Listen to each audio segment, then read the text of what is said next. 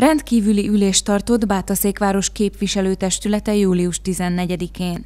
14 napi rendi pontban tárgyalták meg a várost érintő főbb feladatokat. A nyári szünet előtt reményeink szerint utoljára e, ült össze a képviselőtestet egy rendkívüli ülés keretében, ahol jó néhány kérdésben kellett állás foglalni.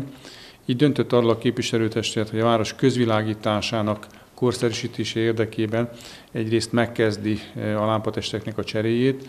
Sajnos abban az állapotba kerültek már lámpatestek, hogy nem tudnak üzemszerűen biztonságosan működni, mint egy 3,6 millió forintos keretösszegig idén is megkezdődnek majd a felújítási munkák, illetve elhelyezünk egy új kandelábert a Petőfi Sándor művelődési ház elé, annak érdekében, hogy a biztonságos beközlekedést tudjuk majd biztosítani magába az intézménybe. Pályázatok benyújtására is döntött a képviselőtestület, így a mai nap folyamán benyújtásra kerül majd a tájház felújítására vonatkozó pályázatunk, mint egy 36 millió forint keretösszeg erejéig próbálunk majd forrás szerezni. Ebben a 36 millió forintban durván 16 millió forint az önkormányzat önereje, 20 millió forint pályázati forrásra próbálunk majd reményeink szerint pozitívan pályázni. Pályázatot nyújtunk be közművelési érdekeltségnövelő támogatás elnyerésére, melyből szeretnénk a Petőfi Sándor művelődési ház feltételeit egy kicsit javítani, amennyiben sikeresen tudunk a pályázaton végezni. Néhány rendelet is elfogadásra került az ülésem. Talán a legfontosabb, hogy elfogadta a város az új helyi építési szabályzatot. Így két és fél éves előkészítő folyamat végére értünk ezzel.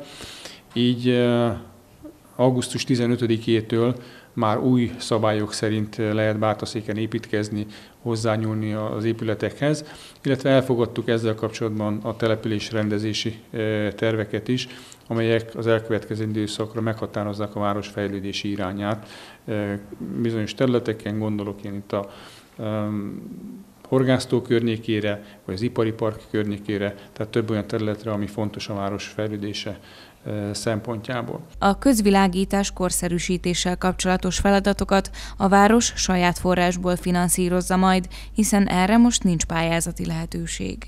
A közmedés érdekeltség növelő pályázat keretében eszközöket fogunk beszerezni. Elsősorban a színházteremben szükséges székeket próbáljuk majd lecserélni, hogy komfortosabban tudják gyakorlatilag a belátogatók színházi előadásokat és az egyéb rendezvényeket végigülni. A döntés hozott arról is a képviselőtestület, hogy szeptember 1-től a vendégétkezésnek a, a díja egy minimális összeggel megemelésre kerül, mert a nyersanyagbeszerzési költségek jelentősen növekedtek, viszont ezzel együtt a képviselőtestület arról is döntött, hogy a gyermekek tekintetében nem emeli a térítési díjakat, az ebből adódó költségeket évvégéig magára vállalja az önkormányzat. Az elkövetkezendő időszakban városon belül jó néhány ponton munkálatokat fogunk végezni, így megkezdődik a piasztéri parkolónak az átépítése, annak érdekében, hogy a rendezvények szempontjából praktikusabb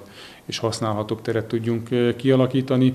Megkezdődik a kövesdiároknak a, a mederkotrása, amely biztosítja a város belterületi csapadékvíz elvezetését biztonságosabb módon, illetve már befejeződött többek között a könyvtár tetőszerkezetének felújítása.